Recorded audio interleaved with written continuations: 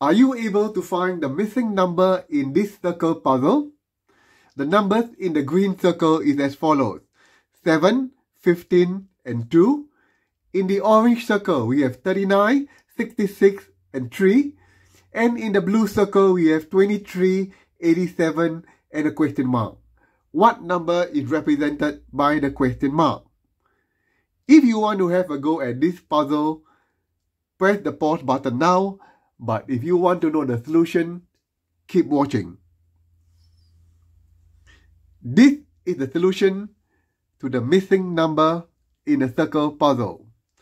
The numbers are as follows. 7, 15 and 2 in a green circle, 39, 66 and 3 in the orange circle, and 23, 87 and a question mark in the blue circle.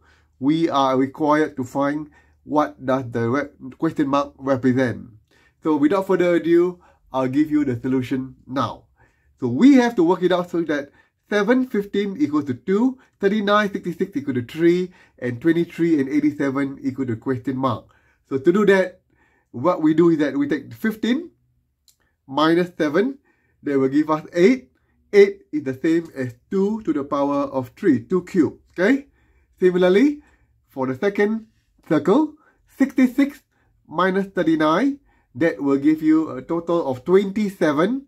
27 is 2 to the power of 3. And last but not least, if you take 87 minus 23, the answer is 64. So you minus 87 minus 23, the answer is 64.